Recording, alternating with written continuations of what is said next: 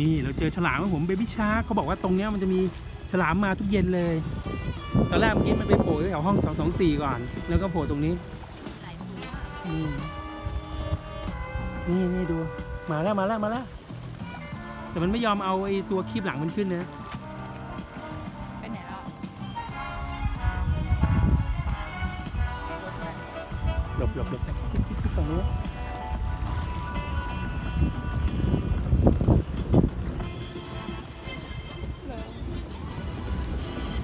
Tài dạng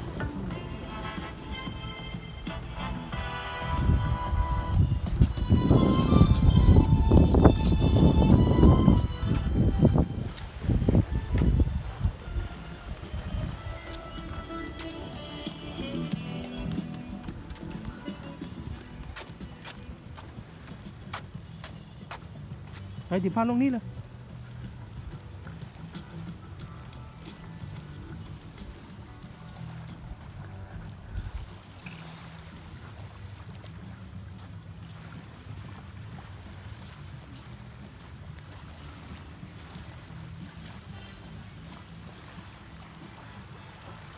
โอ้สายละเอียดมากครับผม